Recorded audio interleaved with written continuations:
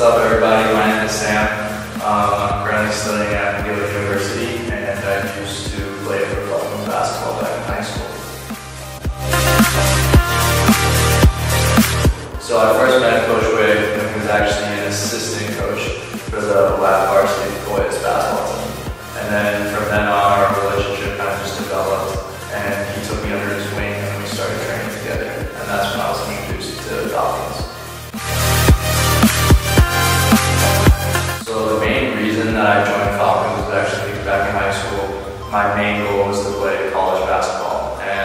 during the season we would have training and stuff. But after the season ended, there was no there was no really practice, no practice unless you practice by yourself. And Falcons gave me and other players the opportunity to practice during the off season and play with guys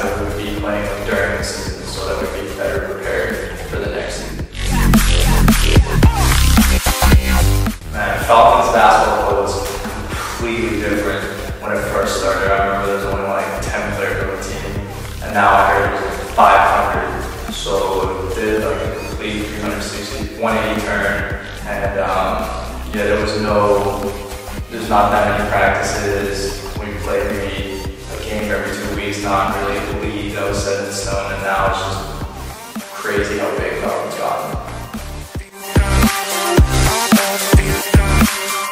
So, like I just said, Falcon provided practice when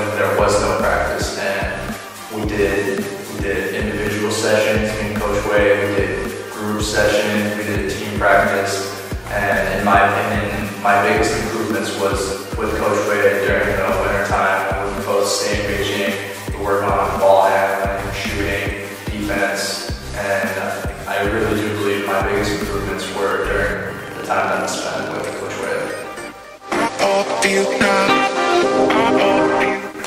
Uh, it was definitely last summer. We played against Yangzhou and Yizhong. Uh, that was that was absolutely crazy because the other team, I think every player was above two meters, and then we didn't have a single guy like that on our team.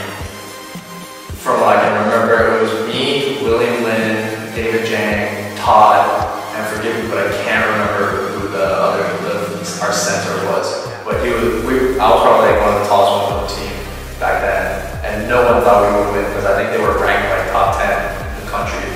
And then um, we actually beat them on a game winner, which was absolutely insane, and that was by far my favorite moment in Falcons. If I had to give one advice to current or people who are thinking about joining Falcons, is definitely I want to let you guys know that when I was your age, or when I was in elementary school, middle school, I didn't have this opportunity. There was no clubs like this in Beijing, and it took so much time to try. I looked everywhere to try to find a club that I could play with. And I remember I registered with Sports Beijing, but at most you do one practice a week and maybe one game every other two weeks, and there was no club that would you would really see drastic improvements in your game. Um, now, so my advice would be to just take advantage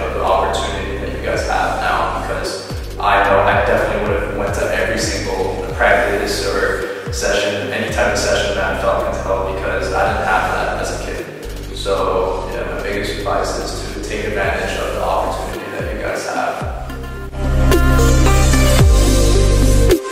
I'm leaving back to Canada tomorrow, and I guess my last words is I hope, or I already know, because I know which way, I know Falcons is going to grow much more every, every single year, and I hope that all the athletes that are currently in Falcons successful season and